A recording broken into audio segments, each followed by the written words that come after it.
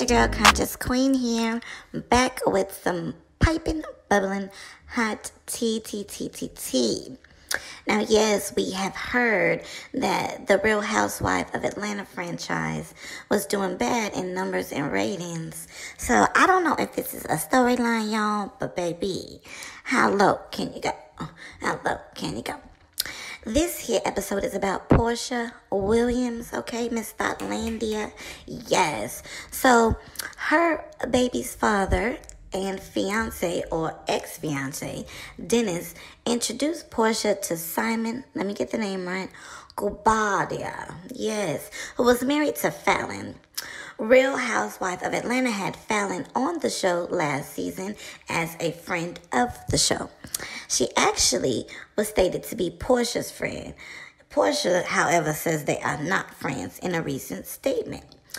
This statement was connected to a picture of Porsha and Simon. There also was Mother's Day videos of them all together, meaning Porsha, Simon, and Dennis. It seems that Simon and Dennis are still friends and, you know, they had a little bro thing going on. Porsha was there in the middle. Simon was lighting Dennis's cigar. Everything looked fine.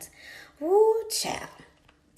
On the episode of Real Housewife of Atlanta, Porsha is seen complimenting Falynn and Simon's home.